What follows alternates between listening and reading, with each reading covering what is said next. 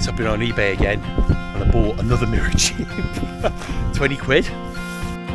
This week, we buy a new jib, we have a look at a new style of bird scarer, but it's mostly about removing the keel band on my Drascombe Lugger. Hope you enjoy. And this looks like it's on off an older mirror. It doesn't have any numbers on it either. Um, but it's in really good condition, this cell. It doesn't really look used at all. And it's kind of that older, darker red, so it'll match the sails on the boat hopefully a little bit better. Now, this is a straight edge here, um, which like a jib tends to be. What I need to do is make this curved so it has that kind of jib, that curved flying jib. Is it leech? I think it is the leech, isn't it? And um, yeah, so we're going to attend to that another day. But I thought I'd show you. I have actually got a permanent jib, jib, jib now, flying jib for the boat because I do think it worked quite well. I think we need to have a much. I think we need to play with it a lot more and get used to it a lot more. Um, came with jib sheets as well. Um, the jib sheet I was using on the, on this was the actual mirror's main jib sheet with the right numbers on it. The other jib sheet I have got for the mirror is like one that I reefed, um, but I don't really think that's going to be just been sewn and hacked about a bit too much to be used on here. And I want to sell that with the boat with the other reef mainsail anyway should I you know sell Mockingding so if you watch the channel you may be aware that one of the biggest problems we have is scaring seagulls off the boat. And this season, I think it is, you know, nesting, nesting time. You know, uh, early on in the season, we got a lot of seagull action. Um, and it was a, you know, they make a right mess of the boat. So, I think we got a degree of success with our little lines. However, those lines are quite hard to sort of erect. Just gonna, these screws have all fallen out. Um, and they get tangled up and they are a bit of a pain. What I'd like to do is remove the CDs off those lines and just have the tape on them. But I think what that would mean is we're going to need something more on the back of the boat here. So I got one of these. Now, this again was a freebie uh, off Amazon Vine. Um, and what it is, well, you can see from the box look, it kind of spins round. Now, I did see a lot of these in France actually when I was on holiday. Let's see if we can work this out. Let's just sort of put it loosely together. Um, it goes something like that. Must be that way round. That must go in the middle. I, I will look at the instructions properly. Um, and I actually noticed they have some really long wire coming out with little things on the end. Now this one does have provision for those wires, but it unfortunately doesn't come with them. But what it does come with are let's just pop those on. I've just filled one with screws of these, so i just got to be careful. Can't use that one. But let's have a look. Right, but what it does come with are these little cups, which will make it rotate. Now, it comes with a magnet, but I don't. It's not going to work anyway on bronze, is it? stick to that. Oh, actually, that's quite good, actually. So, what I was thinking was we need something about here if we tied the lines off a little bit to the side here, so maybe tied them off here so they're out the way, we could actually have this on a block. So what I'm going to build is a little block that goes into the mizzen foot that is probably about that high and then that will create a really good spot for this. I'll screw it in so then I can literally pull this out, stow it and drop it in. Now Let's give it a little test. There's no wind here, but if we go here, you can see that's quite good. And look, look at the, it creates these little things and things like that. And I think if you're a seagull and you got that, even that on its own, the seagull's not going to like that at all.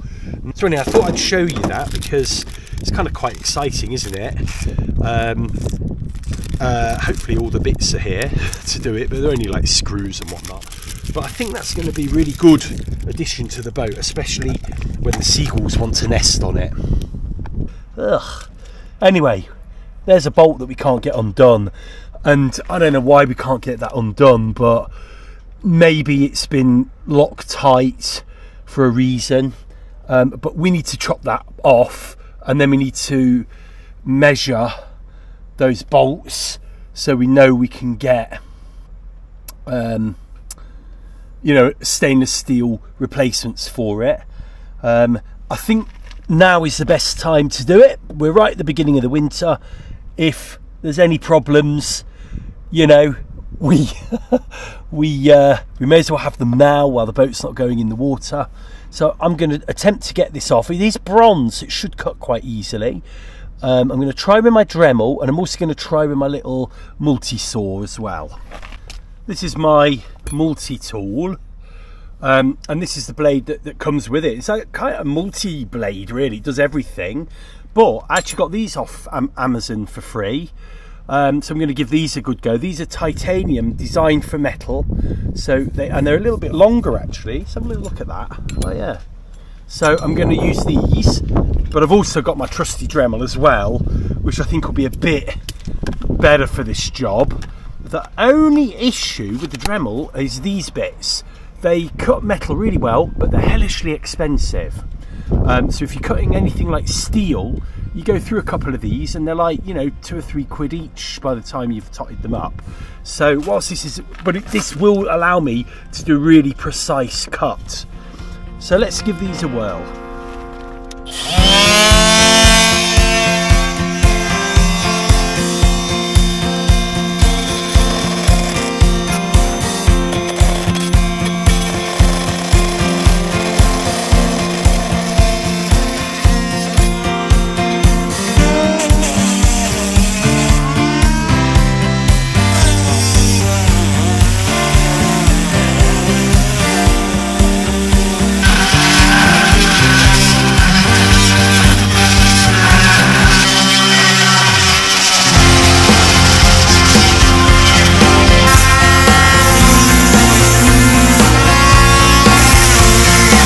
You go, there's the bolt off.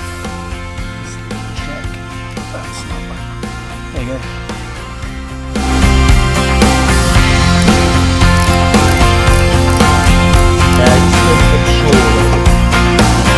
There you go, I think that's it.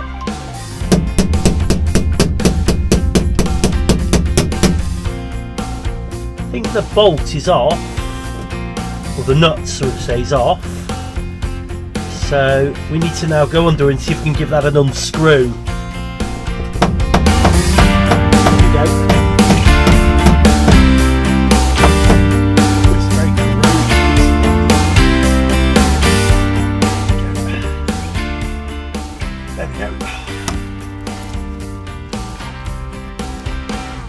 The guys here remember me from last year, and I remember a lot of the guys actually, and all coming to look at the boat, saying how cracking she is and uh, so yeah.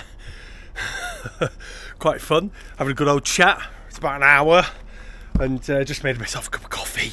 And uh, just needed a little bit of a warm up in the camper van. Temperature is dropping now. You can see the band's quite loose here now. And then ah there we go. There we go. Look at that you may just be able to see that. There you go. Now, you may be able to see one, only two of the screws are in. Uh, which is one of the faults of the lugger. Why they don't put four screws in, I don't know. But there we go. And you can see that I could probably tighten those up. Uh, just as is now. But I think we need to get that out and check the bearing itself. Because the bearing might be actually worn anyway. Uh, might be worth now we've got this off might be worth actually you know replacing the bearing anyway. So yeah let's have a little look at that now. So I've got my clamp here. Hopefully I can get just enough purchase on that to get access underneath. Now, ideally, I'd need a little bit more, but I'd have to undo these or bring the boat back to do that. Um, so I'm going to give it a go like that. But that's all we're going to get at the moment.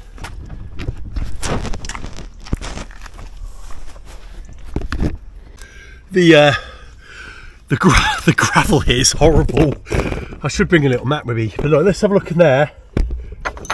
Oh, in fact, look at that. The screw has fallen out. Good grief. Look at that. Look how tiny that screw is. That's crazy. So the screw, that side has fallen out.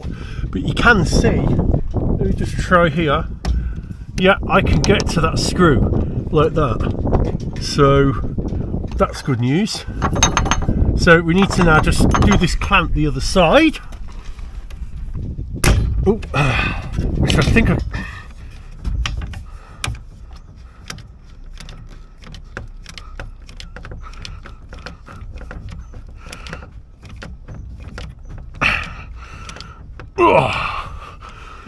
Okay, they're going to fall out too. This screw I think is in a little bit better than the other one, but screwdriver try and unscrew it. Yeah, this screws in, but barely. There you go. And then I don't want to lose those screws. Where did that go? There we go. And I don't want to lose these shims either because there we go. There you go. There's a bearing. Oh, there's a bearing out. So we can, we can go and work out now whether these bearings are worn uh, and get some new ones. The other thing I was going to do, which a lot of people do, so let me show you this. The other thing I was going to do is get a third bearing and put it on the outside here.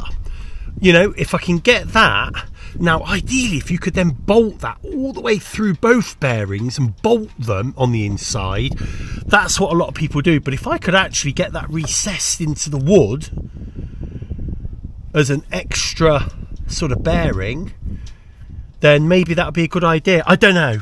I mean, the main thing will be getting this one replaced. There we are, two bearings lower and upper. This one is definitely worn around the rim there, so probably needs replacing. This one doesn't look particularly worn, that to be frank. But anyway, we shall make these safe and we'll work out if we need some new ones. Right, I think that is quite enough for one morning. We've we spent the whole morning here. It is just gone lunchtime. Um, I've put the put that in there so that should hold the mast. I'm going to put another line around here just to make sure the mast doesn't fall out. We'll put the shrouds in as well and then we'll get the cover on. And I think yeah we've had a good a good day today to be frank. Bowsprit went really well. I'm really excited about that. Now we're just going to have to find some way of connecting it here securely and we're done with that. Um, and it's given me a load of ideas about this spray deck, but we'll come on to that. The spray deck is going to be a whole big project. That uh, lugger bearing and whatnot has and, and, keel band that went really well. That went. I'm touching so much wood here. Um, that went better than I could have ever imagined. I thought that was going to be a whole world pain, but actually that's gone really well. Um, and that's actually one of the big jobs that we need to get done. Hopefully, we get another day like this next week. But obviously, you know, here in the UK, um, the weather is only going to get worse now, really. Um, uh, I think, unfortunately, we've gone past the point of fiberglassing until next year now. Hopefully, we'll get some 14 degree weather in February, March again but we haven't really got much to do fiberglass wise. Um, you know, um, the other big job, which I forgot to mention, was the trailer. I need to sort out, make sure the bearings are okay, and then we've got still got a few things with these rollers we need to sort out as well. So loads of stuff to do. I'm looking forward to it now. I think we've got that one out out the way. Um, I'm looking forward to it. Hope you enjoyed this one. Hope you enjoy the winter that's coming up um, because I know next season's going to be huge for this little boat. See you soon.